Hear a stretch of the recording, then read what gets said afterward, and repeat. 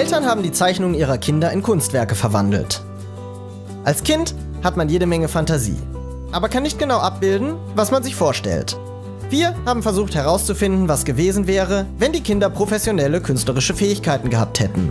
Wir haben die Kinderzeichnungen aus dem Sonnenseite-Team gesammelt und die Eltern dazu angeregt, diese Bilder in ihrem eigenen Stil nachzuahmen. Sieh es dir selbst an. Sie haben sich viel Mühe gegeben und haben ihr Bestes gegeben.